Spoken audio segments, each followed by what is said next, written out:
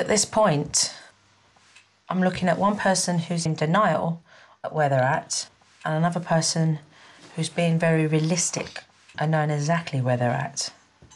Do you not agree with what I'm saying, Martin? I do and I don't. Do you know what I mean? I'm alright, I am.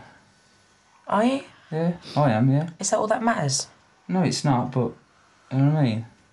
What part of you feels that it's acceptable and okay for you to sit on that chair all day and turn a blind eye? We clash when we try and do stuff together with the kids, so. Talk about that then. Because if, if I go in and try and discipline them, she just, I've done it all wrong. Is that why you've given up? Well, what is the point? Do you know what I mean? If all you get is, is grief for it, all I want is a quiet life. I don't need none of this in my ear. Martin, you're 27. 27. Not eight.